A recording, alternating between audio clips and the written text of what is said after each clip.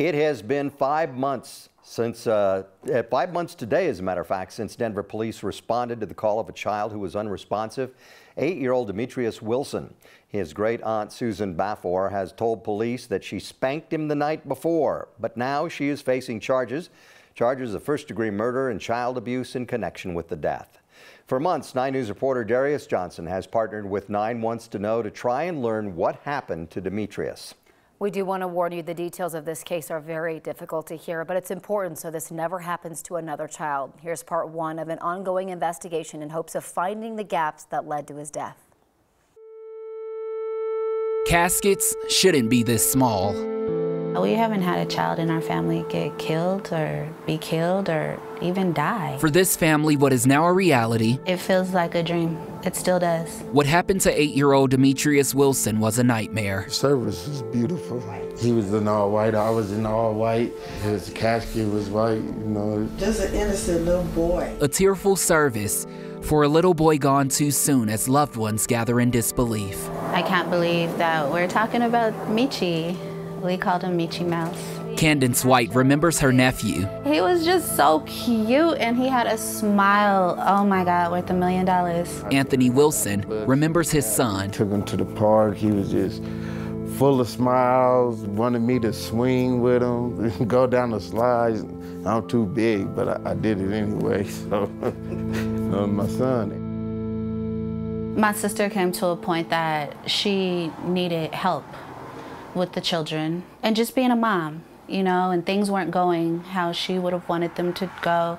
Dametrious was just three years old when his mother was deemed unfit and his father was in jail. That's when family stepped in. The first person we both thought of was Susie because she doesn't have kids. She always took the kids. You know, we knew she would say yes, and just like we thought, she said yes. In 2017, their great aunt Susan Baffour decided to care for Dametrious and his older sister. This is how a lot of families do trust somebody with another family member, think everything is okay. They later learned it wasn't okay. Now Dametrious is dead, and Susan Baffour is in jail charged with murder. At first, I thought she snapped.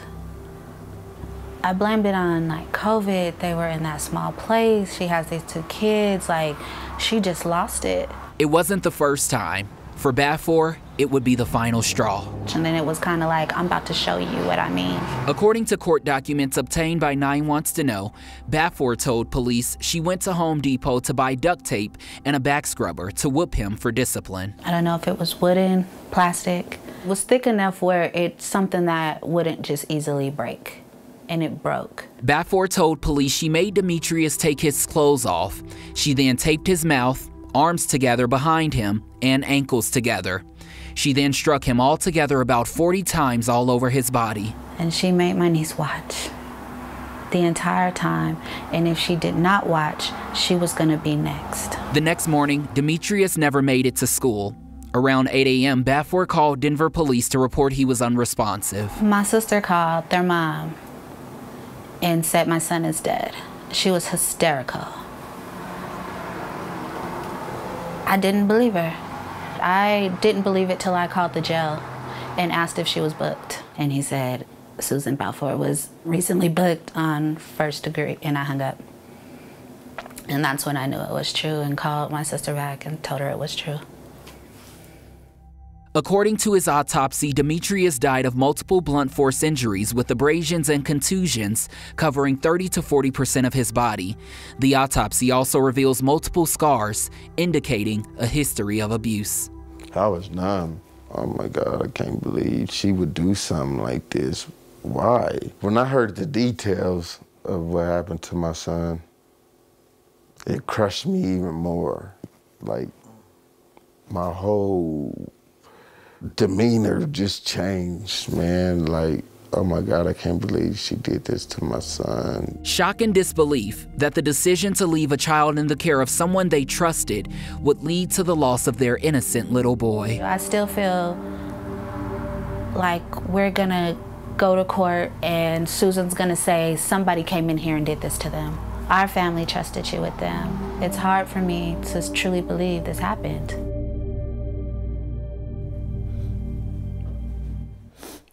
Trust. That's the key takeaway from this story. This family trusted their great aunt to care for these children. This family trusted the Department of Human Services to ensure that these children were okay. The Department of Human Services trusted that Susan would be the right fit for kinship placement. Ultimately, they all learned that was not the case. And I think what's even more shocking is we are now gaining new interviews and new documents that are beginning to paint a better timeline and starting to point the finger at all of those who could have prevented this tragedy from happening. It is so sad. So you've been working on this for months. What sparked your interest in doing the story? You know, Corey, Janet Orovets, our producer, and Anna Houston, the photographer that worked on this with us, are curious minds. We saw when it came out and we are like, eight year olds don't get murdered. Mm-hmm. Great aunts, women don't often get charged with first degree murder. There is something else going on with this. Mm-hmm. Yeah, I mean, many times when this happens, it's it's not a me- family member. It's like a daycare center somewhere or something like that that may be unlicensed or whatever. But this is all in the family. It's mm. so strange. all in the family and just like you heard at the end them easily saying that this was someone that they trusted this was the person who they chose to take care of Dametrious as well as his older sister. And you know, that's the hope for this story. We are trying to find the gaps in the system that ultimately led to this little boy's death. This family is heartbroken. His teachers are heartbroken. All of those who knew him. I mean, look at the smile. Yeah. You see it. Mm-hmm. And we aren't stopping until we can figure out whoever is responsible for this. This shouldn't happen, and we are fighting to make sure that this doesn't happen to any other family. Tomorrow, Susan is in court, and she will either plead guilty or not guilty. We will be there with the family, and we will continue our coverage of this ongoing investigation. Yeah, let us know what happens for sure. All right. Thank you. Thank you.